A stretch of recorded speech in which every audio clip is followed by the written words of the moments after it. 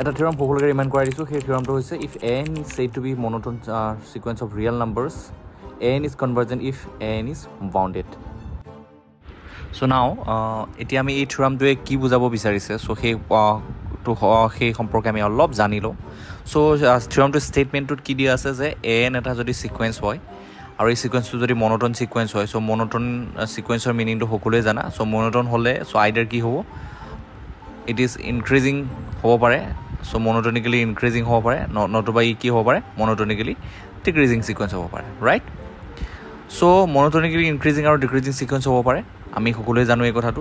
এতিয়া নাও তোমালোকে চোৱা চ' এই ছিকুৱেঞ্চটো যদি কি দি আছে লগতে বাউণ্ডেড হয় বুলি দি আছে। If n is bounded n is কি হয় যদি বাউণ্ডেড হয় বুলি দি আছে। ইফ এন ইজ বাউণ্ডেড তেনেহ'লে কি হ'ব?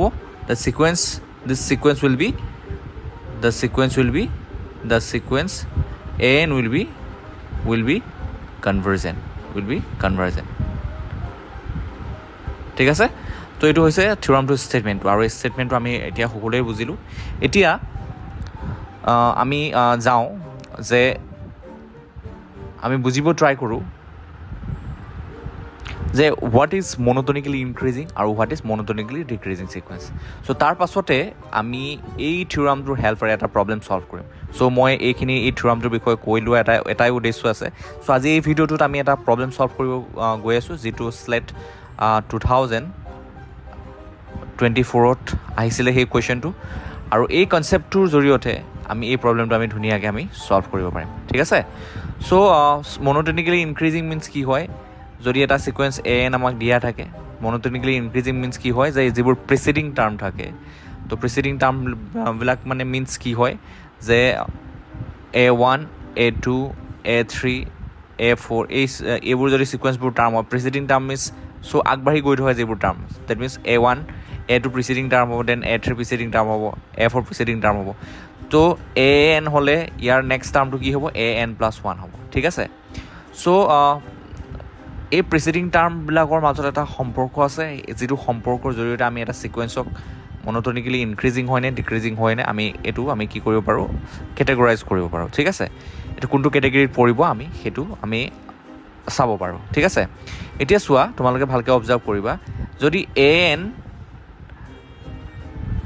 is greater than a n plus one হয়।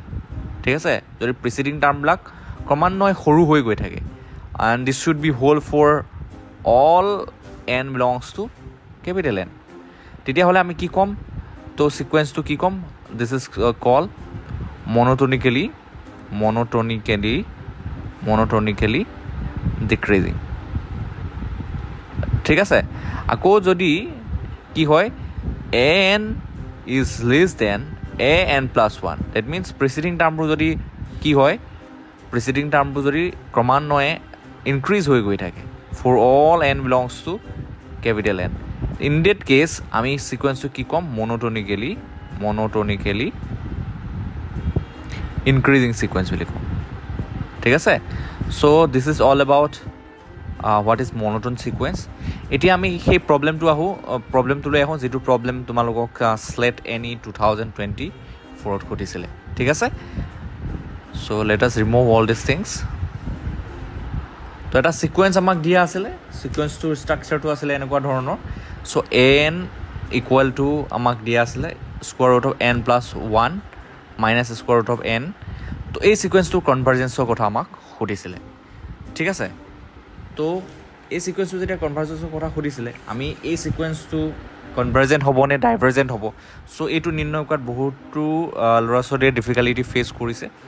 চ' সেই গতিকে মই এই প্ৰব্লেমটো ছল্ভ কৰাই দিব বিচাৰিছোঁ। আৰু এনেকুৱা নহয় যে অকল শ্লেটৰ কেণ্ডিডেটখিনিৰ কাৰণেহে ইম্পৰ্টেণ্ট আমাৰ ডিগ্ৰী যিখিনি ষ্টুডেণ্ট আছে সেইসকলৰ বাবেও এইটো এটা ইম্পৰ্টেণ্ট প্ৰব্লেম হ'ব। যিহেতু তোমালোকে এই থিয়ৰামছবোৰ ডিগ্ৰী লেভেল চিলেবাছত পাইছা। গতিকে তোমালোকে এই বস্তুবোৰ ভালকৈ বুজি ৰখাটো জৰুৰী বুলি পেলাই ভাবোঁ। পিছত তোমালোকৰ কামত আহিব। আৰু এই প্ৰব্লেমছবিলাক মই কৰাই দিয়াৰ ইণ্টেনশ্যন আৰু এটা আছে।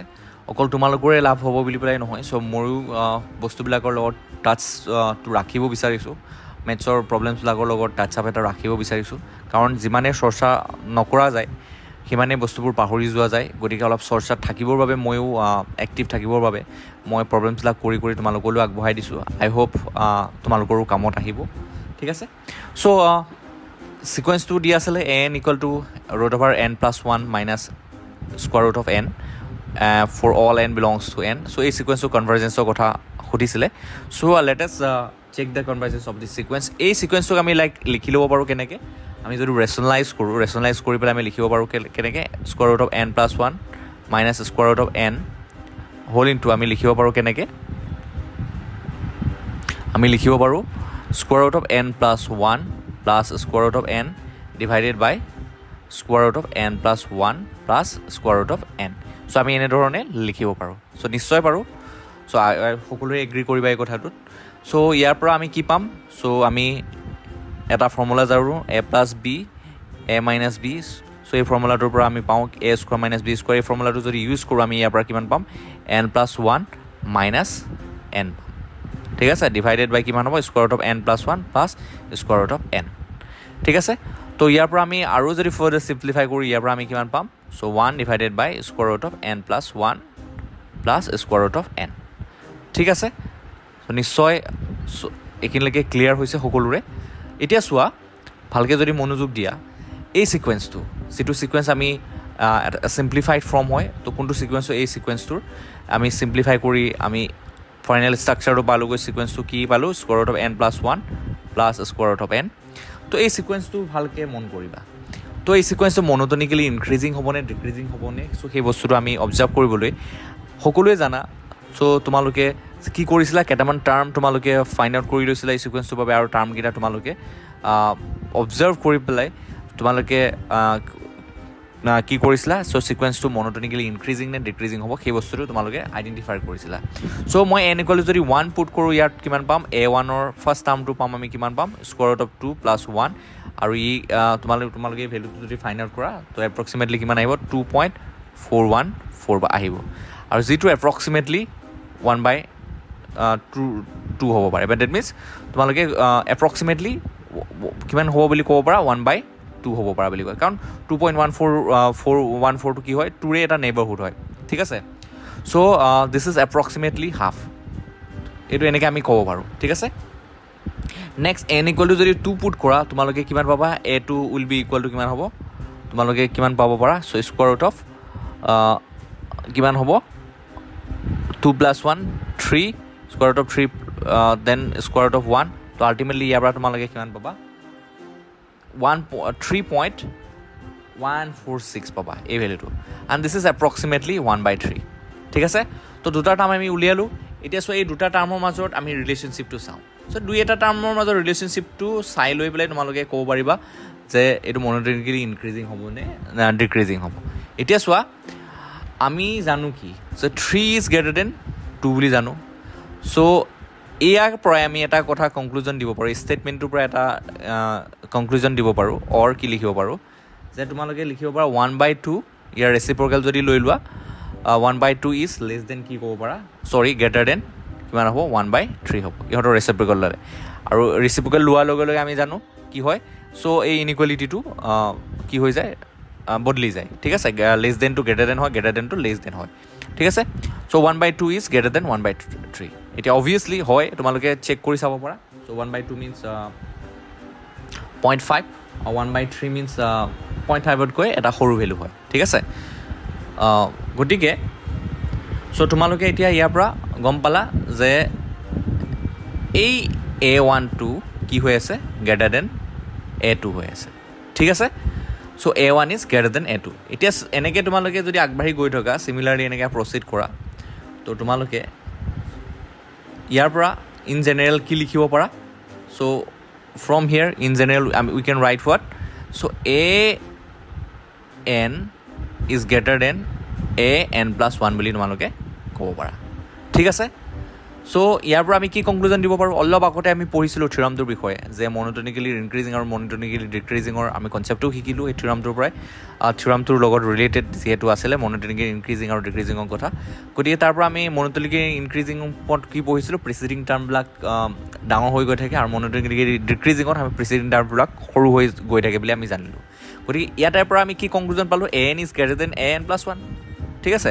ডেট মিনছ প্ৰিচিডিং টাৰ্মবিলাক ইয়াত সৰু হৈ গৈ আছে। For all n belongs to capital n গতিকে ইয়াৰ পৰা কনক্লুজন দিব পাৰোঁ যে গিভেন যিটো ছিকুৱেঞ্চ হয় দিছ ছিকুৱেঞ্চ ইজ বেচিকেলি কি হয়? দিছ ইজ মনোটনিকেলি মনোটনিকেলি এটা ডিক্ৰিজিং ছিকুৱেঞ্চ হয়। ঠিক আছে? মনোটনিকেলি ডিক্ৰিজিং ছিকুৱেঞ্চ হয়। অ'কে চ' এইখিনিলৈকে আই হোপ কাৰোৰে ডাউট নাই। এতিয়া আমি মনোটনিকেলি ডিক্ৰিজিং পালোঁ।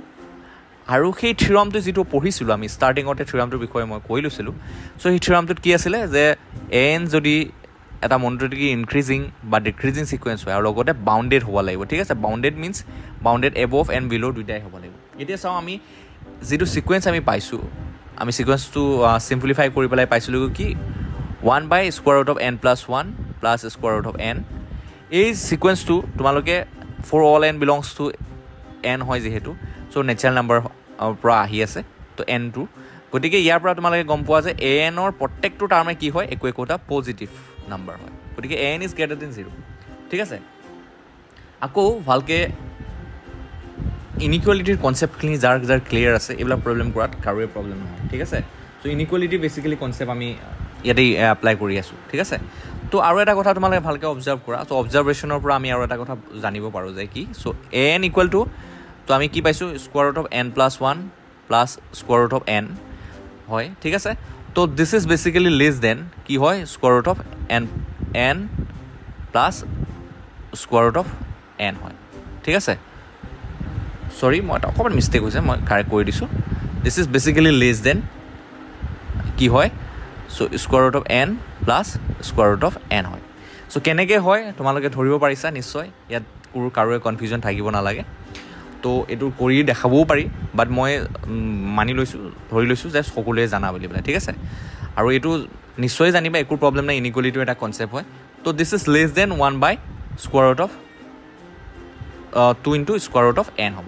And this is less than square root this is less than half কেনেকৈ হৈছে তোমালোকে নিশ্চয় ধৰিব পাৰিছা। একো প্ৰব্লেম থাকিব নালাগে ইয়াতে।